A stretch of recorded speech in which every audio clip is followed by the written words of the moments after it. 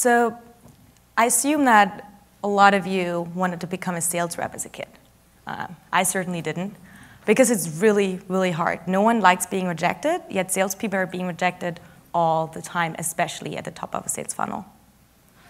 So, hey, I'm Kristina Traeger, and I'm going to show you how to use AI to exactly help those people and revolutionize the way your business is doing sales. Why do we even care? Because 80% of all sales reps are performing at average or below. We've seen that a sales career is hardly anyone's first choice. They kind of fall into their career after college and then rather survive than thrive. I actually met Jessica Smith. She um, is the former director of business operations at Evernote, and she, in our one-on-one, she had confirmed that the biggest churn rate they're experiencing um, is from the position of a junior sales rep. So, what are businesses like Evernote doing about it? Uh, businesses in the U.S. spend up to 20 billion every year in total um, to train salespeople, and that number is even five times higher when it comes to hiring new salespeople. And that new hire then takes up to a full year to be fully productive. So we can see recruiting and maintaining a sales team of A players, because you don't want B players, um, is incredibly hard and very expensive. The good news is, though, that at the same time, we can see another trend. Gartner predicts that by 2020, 85% of all interactions between businesses and customers will be without any humans involved. Machines can now actually understand natural human dialogue. So finally, after decades uh, of AI promises, um, it's finally happening. happening. So I really encourage you to be part of that revolution and take advantage of all of its business opportunities. And we've actually found that especially millennials absolutely embrace the fact that they can just talk to, to an AI, be themselves, and you know, use their own lingo and can interact with businesses um, on their own time and without having to talk to a human. And as I said, there's a real business opportunity here because you can now actually reach your customer where they, where they already are on your website, um, on their phones, etc. And because of that, you can easily improve the engagement with that user because you absolutely decrease the cognitive load on their side. They don't have to like read text and look at your website and look for the answers. They can just talk to you and ask for what they want to know. And because you're now in control of all interactions between the businesses, uh, between your business and the end user, um, you can deliver a very consistent brand experience. And once your AI is trained, it works 24 7, no people problems, no churn, no turnover. You can experience actually tremendous cost savings, and all of that while being highly scalable. Because if you have one bot, you can have many conversations at the same time. And let me tell you about Matt. Matt is this young gentleman over there. Uh, I know his emoji looks slightly more handsome, but um, so Matt and his two brothers founded a coding bootcamp called Codify Academy, and they are doing great. They're uh, increasing their revenue by, by 3x every year.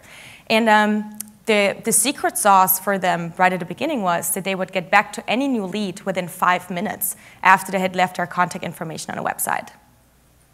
Last September, though, Matt and his two brothers were absolutely exhausted because of it, and they just couldn't do any more calls. And this is when he contacted me.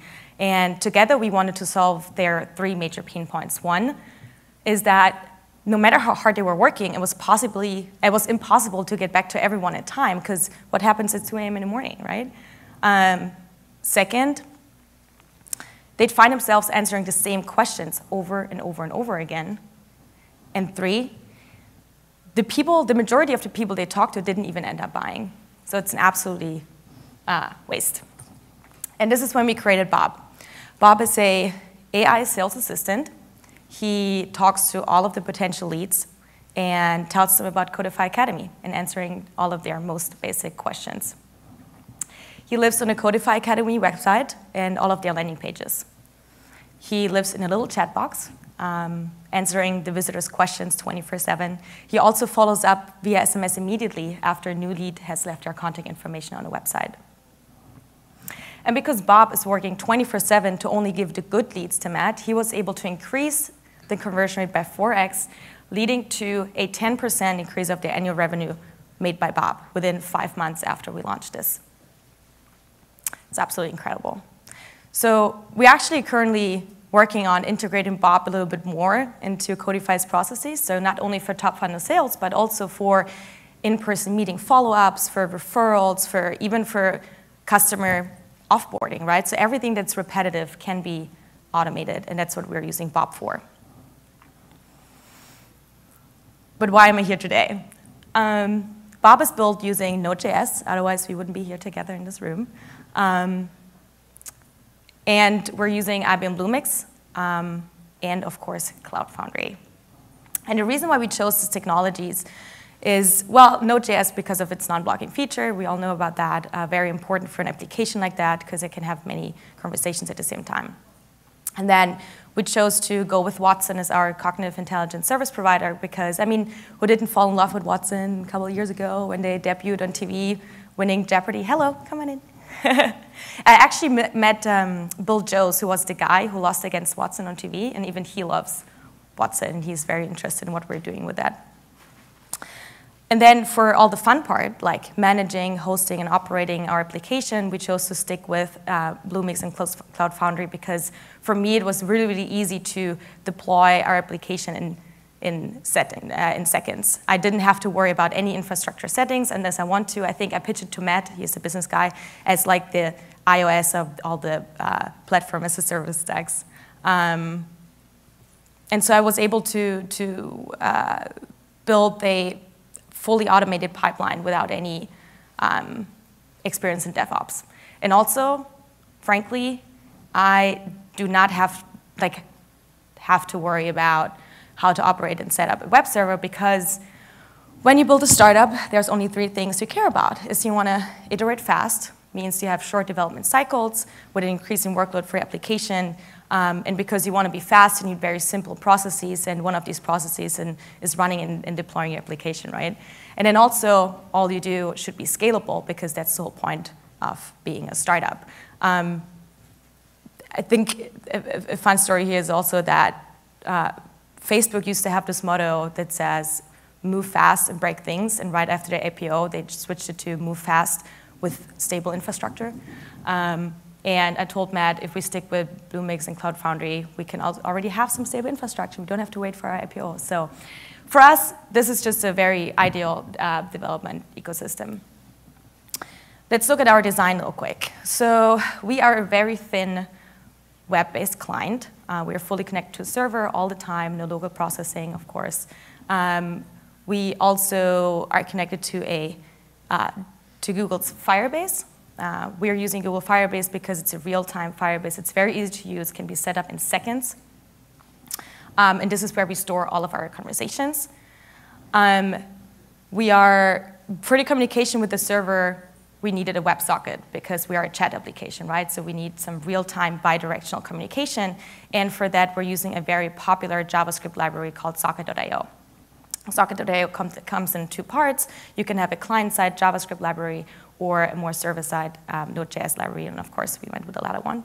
Um, we're using Socket.io alongside Express. That's a very common combo, I'd say, uh, and it works because Socket.io doesn't uh, work with HTTP requests, it's event-based. And so we can still use Express to distribute our initial client script. And what I mean by client script is um, our client setting script is that every of our clients, like Codify Academy, um, or customers, if you want to say, they have their own settings. They have their own login credential we need for them to uh, authenticate with third-party services like IBM Watson and, and the, the, Firebase.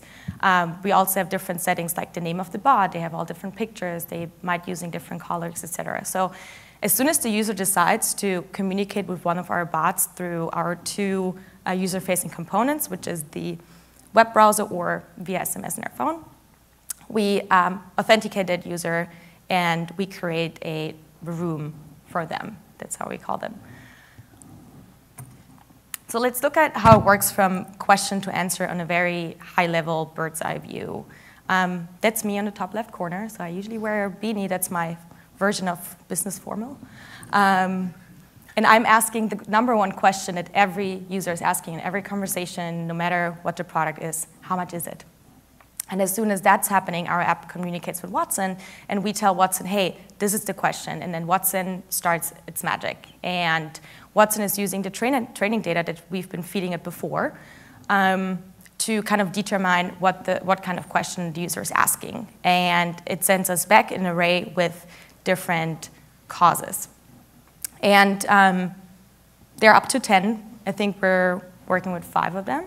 And they all come back with um, the cause and then what's called the confidence level. And the confidence level is from 0 to 1 or 0 to 100%, whatever you want. Um, and the better your bot is trained, the more likely you have that your top number one cause also comes back with 100% confidence level. So, for example, for how much is it, Bob currently knows 300, more than 300 different ways to ask for the price. Um, so I'm pretty sure we would get back that, like, the top number one cause with 100% confidence level, and this label is internally called uh, total cost. And then I take this label and connect with our Google database because from there I retrieve the actual human readable answer because your user doesn't want to get an answer back total cost, right? They want to like actually have information. And so we use this label as a key and retrieve the actual human readable answer and then send it back to your user. So it's not a rocket science. It really isn't. And the key takeaway from here is um, the integration with IBM Watson as a cognitive intelligence service provider.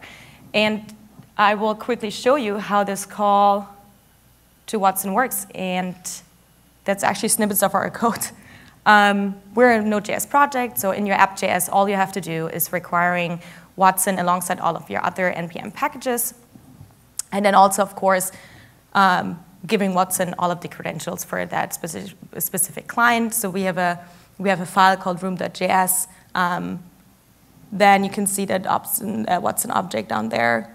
Um, you tell Watson what kind of service you want to use. Uh, in our case, it's the natural language um, classifier. You get a username and a password. So all of our clients get their own service wrapper, and you get their, your own um, username, password.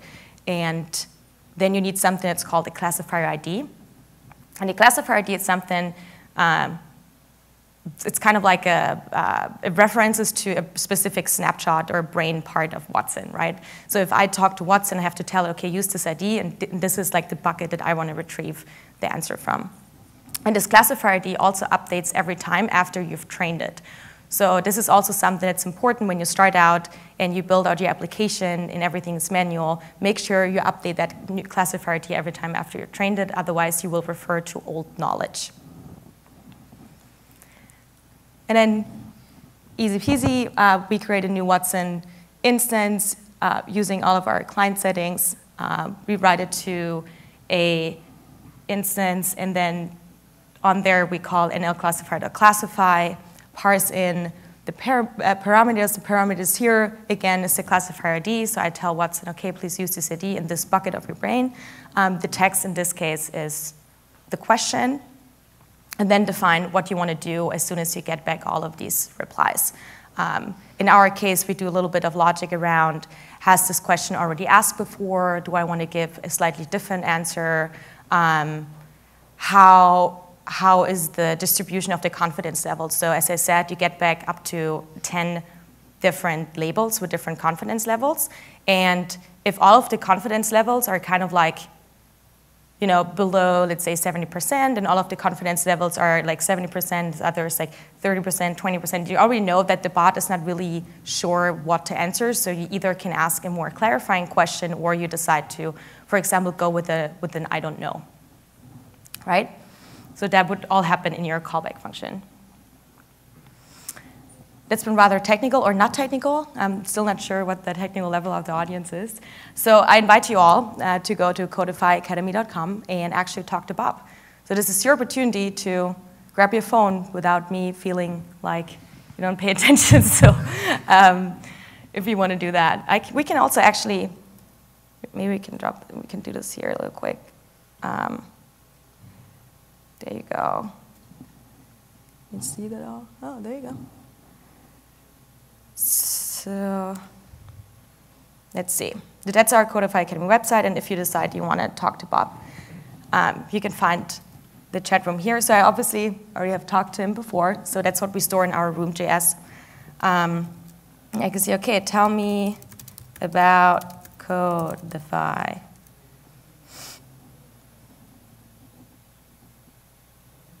Chew. So a lot of information. Um, and I was like, okay, cool, that's interesting. So how much is it?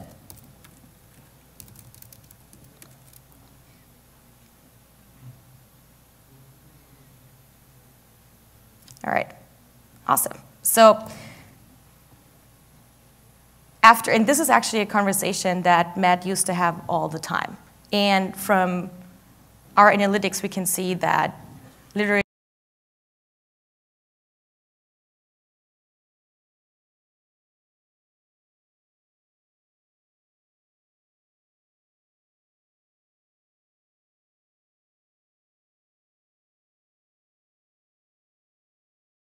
schedule a call with one of the Codify Academy salespeople.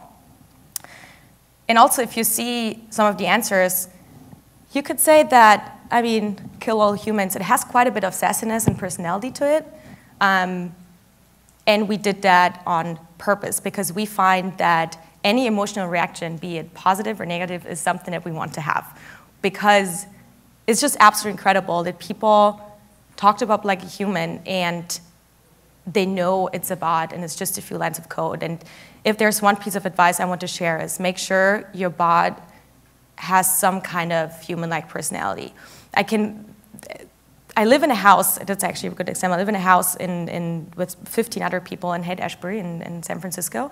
We're all quite, you know, techie and, or nerds or work at Google or anything. So we have all of the devices, right? So we have an OK Google and we have an Alexa at home. So OK, Google is in our kitchen, Alexa is in the upstairs living room, and you can just tell, just because OK Google doesn't really have a name, but Alexa has, how differently we interact with the both devices. So with OK Google, for us, it's just an extension of their search bar. It's what they wanted. So we kind of like yell at it. It's like, OK Google, play brunch music, and or we, we get even we get very angry if it doesn't get our request right. Whereas with Alexa, you can tell like we're like, hey Alexa, would you mind? Uh, buying the new Apple HomePod. Uh, but um, so just make sure to use a name that people can remember and give it a personality, and people will interact with it way more.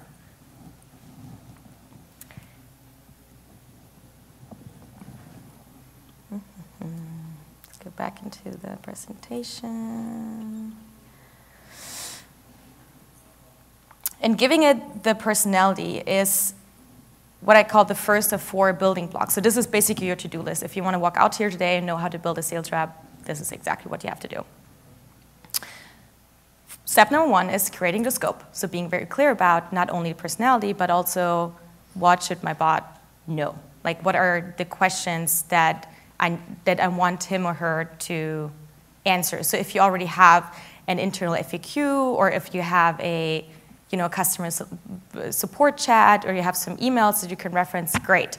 The more questions you can feed your Watson or whatever service provider you want to use, the better.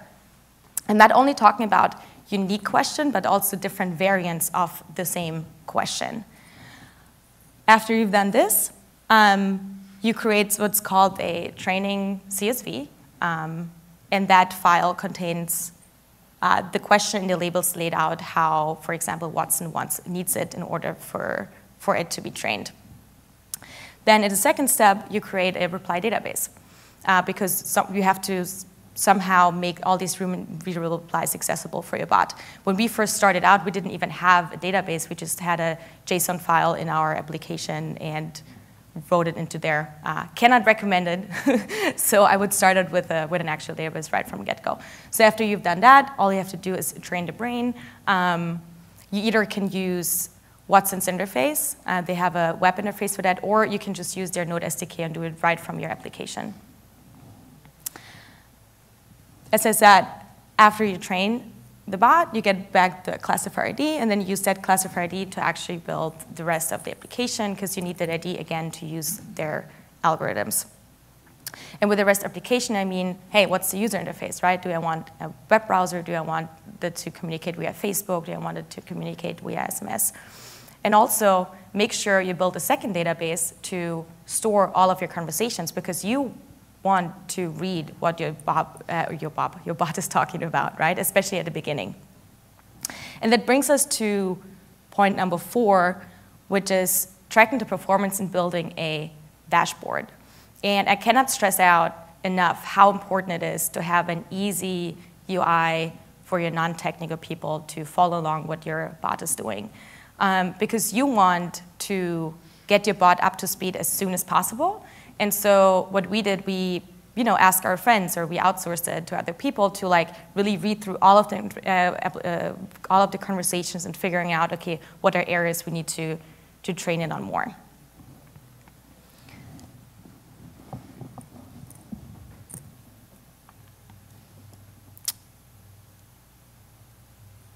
Um,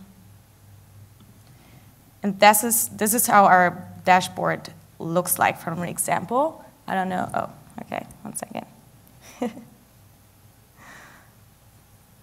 um,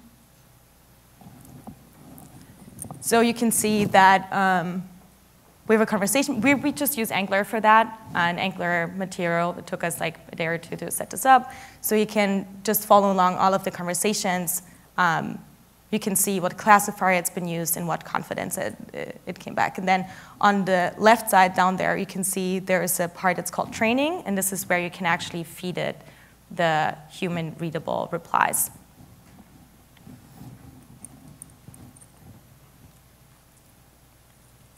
Let's go back. Oh, and this is, for example, this is the training file I was talking about earlier very simple. Literally everyone can create it.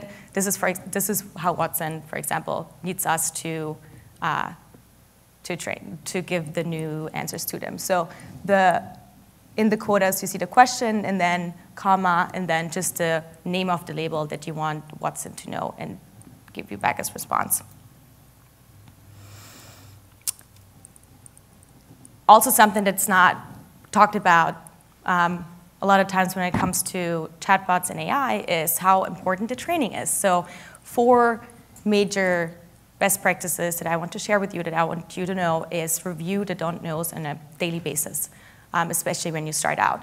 You also want to update the confidence threshold, right? So when you build out your first bot, I call them baby bots, um, you want to have a very, very high threshold. So you don't want to go with an answer that the bot is, is suggesting that's like below 70% or even 80 or 90%.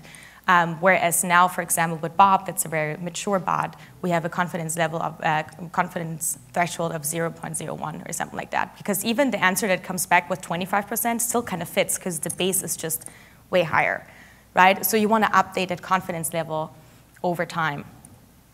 And of course, you want to automate uh, a lot of your training. Um, and do it in a consistent training cycle. We do it uh, once a week now for all of our bots. Um, and so the major takeaway also from the session for you is have an easy training UI to put in new data to track the performance. So we are tracking KPIs like how many conversations did we have, how many questions have been asked, um, what our customers are actually where do they drop out, right? Why, what is the last question before they decide to drop out?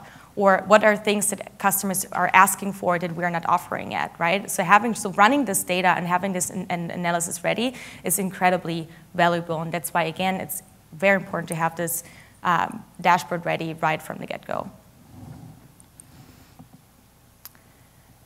Yeah, and with Bot, um, with Bot we've been extremely successful and uh, we wanted to share the success with other businesses. So if you have any more questions or if you want your own Bob working for you, reach out to me. Uh, we founded a new company called Cybrid Industries.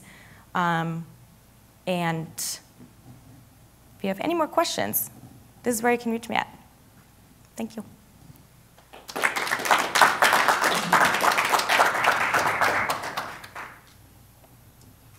Any Are there any,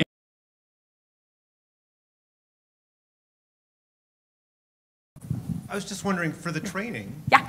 Uh, how often is it like, you know, you review one of the conversations and just wish that like one or two of the questions was a little bit different? How often? So or the answers, I mean. Sorry. Yeah. Well, at the beginning it was a lot more. Um, so I think it takes up. It took Bob, I think, to be fully productive about eight weeks. Um, it really depends on how many conversations you have. So you shouldn't launch a bot without having at least like 100 to 200 conversations. And how you can do that is when you first launch a bot, you launch it in a sandbox and you send a link to your friends or to you know people on Odesk, and they just have a very basic conversation, and then you can train it on that on the questions. Yeah. Thanks. How many, um, how many questions does he get now per day? I mean, you know, how many does he engage in? Yeah, we have about we have about 100 for Codify Academy. So 100 conversations per day. Yeah. That many people are coming there to talk and ask questions? Yes. Yes, because we only we, so we do both things. We have the inbound side, we have the web chat on, the, on, on all of our landing pages and on our website, but we also do the outbound as soon as we get their contact information on any you know other side and whatever. So yeah, yeah. Thank you. So I have three questions. I'm going to ask one by one. Yeah. The first question is that how do you really define a success of a conversation? That's a good question. Um, it's up to you. So for us, it's uh, we have a we have a flag in our training dashboard, and I wish could have shown you that um, training dashboard that it's called excellent. And so we actually give only this excellent star when he gets all of the, the answers right, and it happens uh, more than 90% right now. And what's yeah. the average time spent in conversations? Like 15? Do you measure the metric? You mean how many questions been asking? No, how much is the engagement time per user to the bot? So um, we don't measure the time, but we measure how many questions the user asking. Users are asking uh, four to six questions. Okay, so the outcome of four to six questions, they get an output what they're looking for. Yeah. Okay, the yeah. Because that's and that's exactly the point that I'm making is that especially for top funnel sales, like you can almost predict what your users are going to ask about. Like that's why you have your FAQ, right? It's like frequently asked question that come over and over and over again, which also made you know Matt's job so painful in the first place. Last question. How, who designs the questions? So there is a new concept called conversational UI.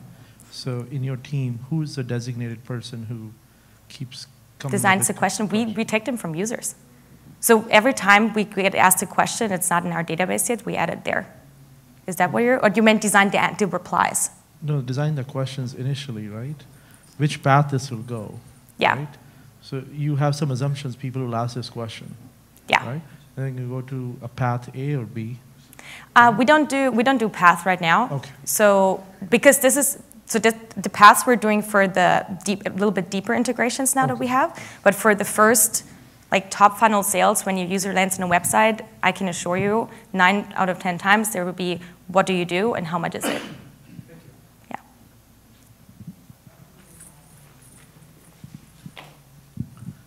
Uh, if you can come back to the slide with architecture and elaborate a bit, uh, I believe it is not the kind of initial architecture, uh, but uh, the final for the moment.